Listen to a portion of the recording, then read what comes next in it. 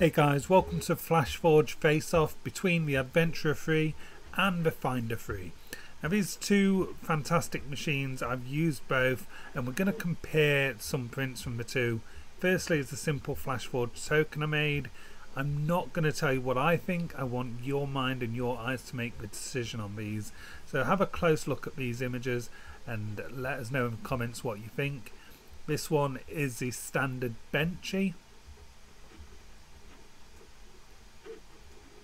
And then next up is this lattice cube. We had a few problems on the Adventure Free with the back breaking during printing, but otherwise quite a clean result.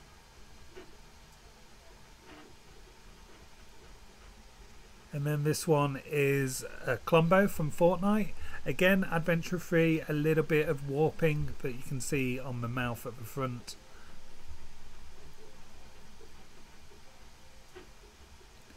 And then finally a figure I found uh, trimmed down bottom the legs wouldn't print well on the adventure free so I had to do this. Still had problems with the back of the arms and the pole breaking um, but still good quality prints. So let us know what you think adventure free or finder free. Um, let us know in the comments. Thanks a lot for watching. See you soon